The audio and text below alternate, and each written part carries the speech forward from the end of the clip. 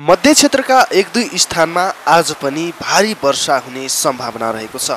मनसुनको सक्रियता कम भए पनि पश्चिम तथा पूर्वी र मध्य क्षेत्रका एक दुई स्थानमा भने एकदमै ठुलो वर्षा हुने सम्भावना रहेको छ। न्युज ट्वेन्टी फोर टेलिभिजनको अफिसियल वेबसाइटमा यो समाचार छापिएको छ।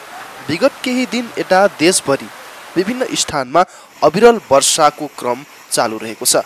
वर्षाकै कारण देशका विभिन्न ठाउँमा पहिरो एवं डुबानको समस्या पनि परेको छ। यसैबीच अझै देशका अधिकांश स्थानहरूमा भने भारी एवं मध्यम वर्षाको सम्भावना मौसम पूर्वानुमान महाशाखाले जानकारी दिएको छ।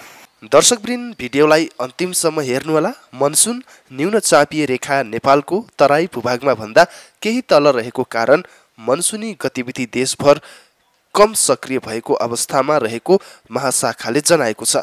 हाल देशका विभिन्न अधिकांश स्थानमा सामान्यदेखि पूर्ण बदलीको अवस्था रहेको छ।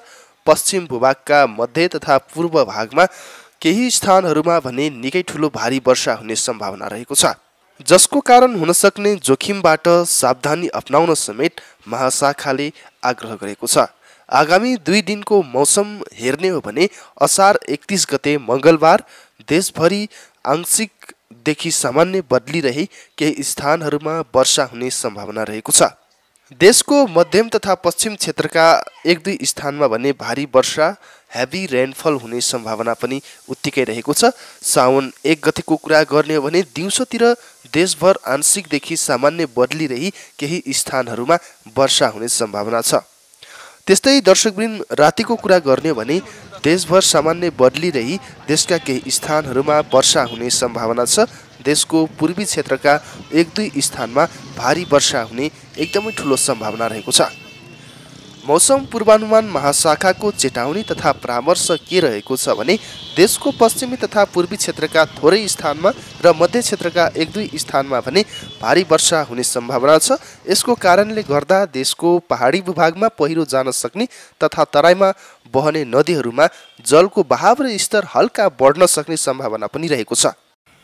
हवाई तथा सडक यातायातमा समेत वर्षा र कम भिजिबिलिटीको कारण सामान्य अवरोध आउन सक्ने भएकोले कृपया सतर्कता अप्नाउनुहोला। हामीले तपाईँलाई अनुरोध गर्छौँ त्यस्तै महाशाखाका अनुसार अबको दुई दिनमा कतै कतै भने ठुलो भारी वर्षा हुने सम्भावना बताएका छन्। मनसुनको सक्रियता कम तर पश्चिम पूर्वी र मध्य क्षेत्रका एक दुई स्थानमा भने भारी वर्षा हुने सम्भावना रहेको छ। दर्शकवृन्द तपाईँको विचार पनि कमेन्ट गर्न नछुटाउनुहोला। युट्युब च्यानल इन्फो खबरमा आजको लागि यो भिडियो यति नै।